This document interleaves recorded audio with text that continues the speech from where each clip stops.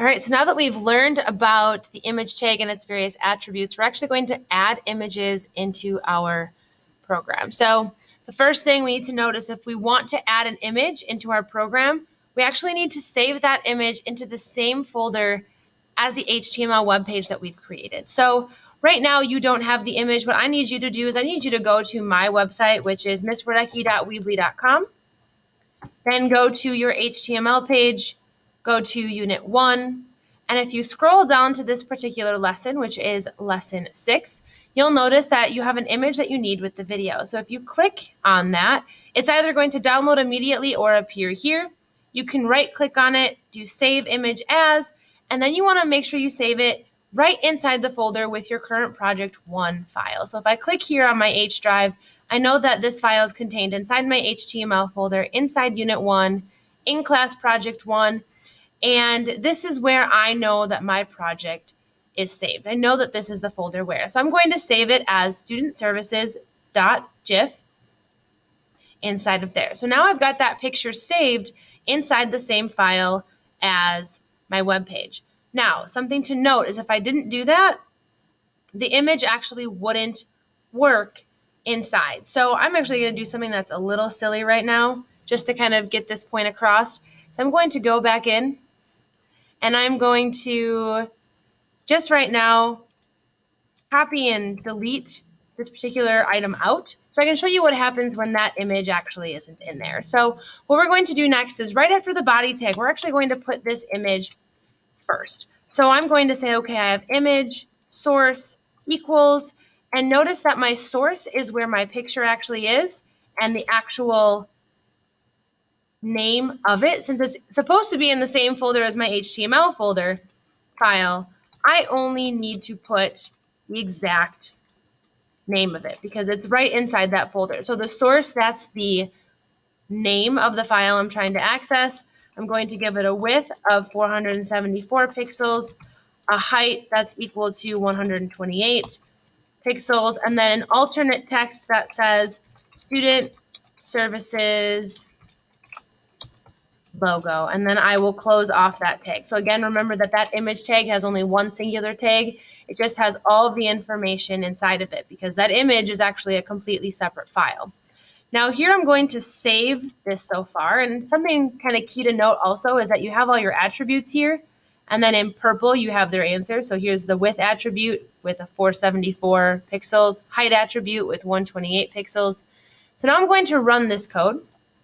And what you'll see is that nothing appears here.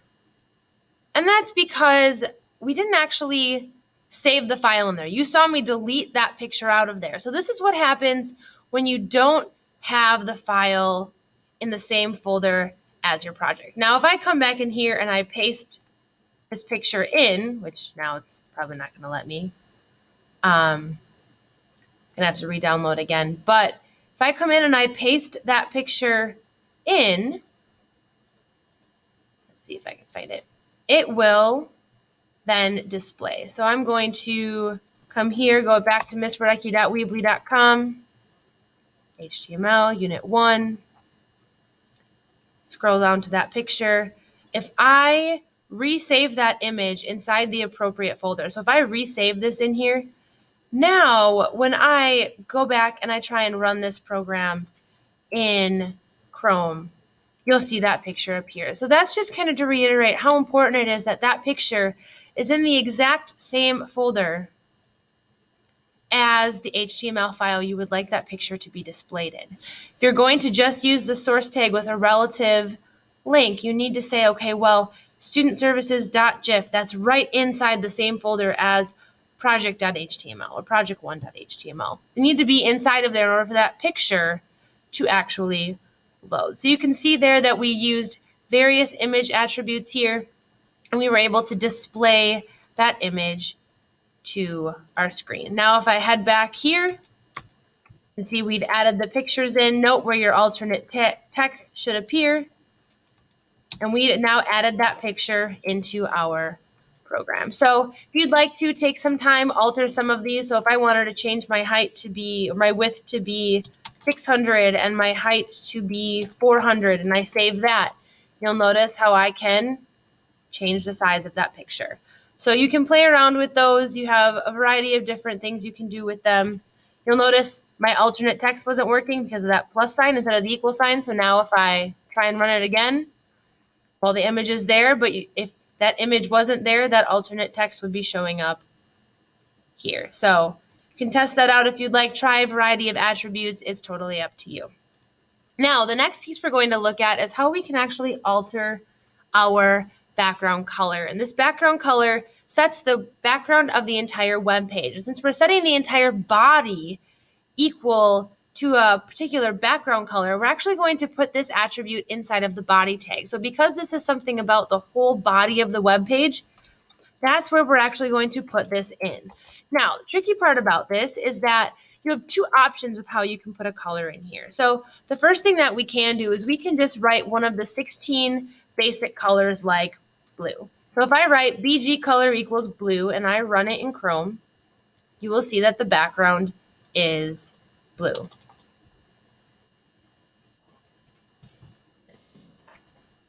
you can see that the background is blue.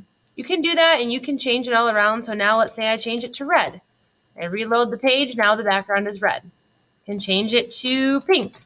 Reload the background, the background is pink. So that's one option that you have for changing your background color. You can just use those general colors, but in the past I've had some very creative students that really like to get more creative with their colors. So you can see here, I have a whole list of possible colors that you can use. So while you can type in the actual name, what you can also do is you can use what's called the hexadecimal color code.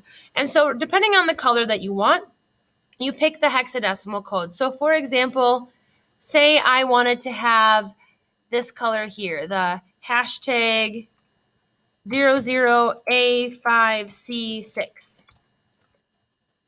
Now if I were to run my code, it would give it that blue color. That's the hexadecimal color code for this pretty blue that I wanted to pick.